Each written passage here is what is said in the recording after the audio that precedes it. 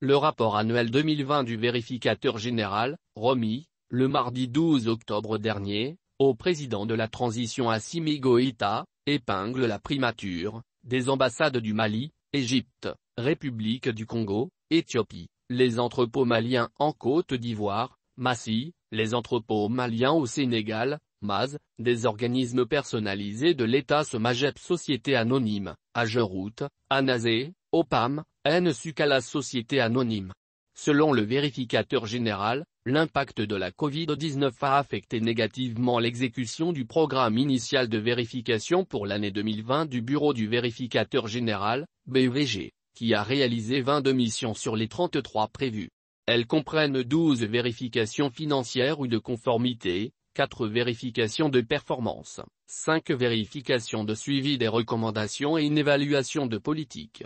Ces missions, explique le vérificateur général, ont couvert les domaines de la sécurité alimentaire, les infrastructures et la sécurité routière, la gouvernance institutionnelle, le développement local, la santé, l'énergie et l'eau. Les missions de vérification financière ou de conformité effectuées en 2020, lit-on dans le rapport, ont mis en évidence plusieurs irrégularités administratives dont, entre autres, la non-tenue des documents de la comptabilité matière, la mauvaise barre oblique non-tenue des pièces comptables, le non-respect des règles régissant la gestion de la trésorerie, l'inobservation de préalable à l'entrée en fonction des régisseurs, le non-respect des cadres organiques, l'inexistence de manuels de procédure administrative, comptables et financières validés et barre oblique ou à jour. Quant aux irrégularités financières, elles se sont caractérisées par, moins l'octroi d'avantages injustifiés par des actes contraires au Code des marchés publics, à travers notamment l'absence de mise en concurrence,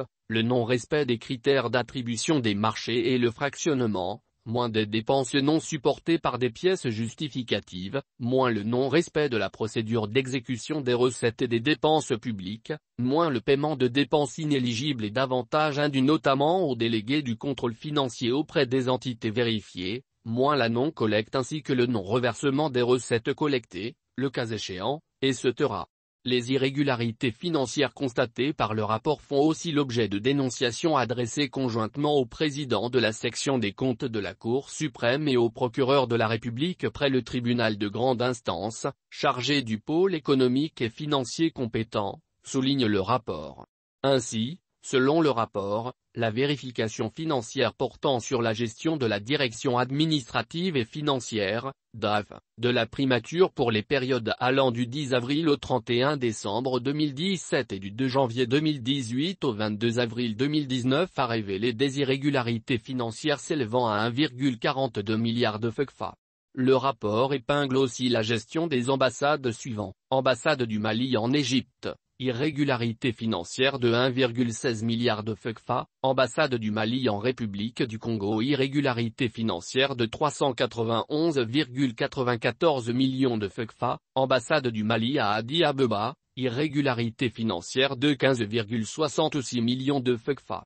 Le rapport a aussi noté des irrégularités financières dans la gestion des entrepôts maliens en Côte d'Ivoire, 2,59 milliards de FECFA, et des entrepôts maliens au Sénégal les irrégularités financières, ci-dessous, s'élèvent à 754,65 millions de FECFA. Concernant la gestion de la Société malienne de gestion de l'eau potable Somagep, le rapport du vérificateur général indique que les irrégularités financières s'élèvent à 678,47 millions de FECFA. Le fonds d'entretien routier par l'Agence d'exécution des travaux d'entretien routier Ageroute, est aussi épinglé par le présent rapport, les irrégularités financières lors des dépenses exécutées s'élèvent à 895,51 millions de FECFA, à l'Agence nationale de la sécurité routière, ANASE, les irrégularités financières s'élèvent à 626,37 millions de FECFA. Le bureau du vérificateur général a constaté des irrégularités financières d'un montant de 830,44 millions de FECFA à l'Office des produits agricoles du Mali, OPAM.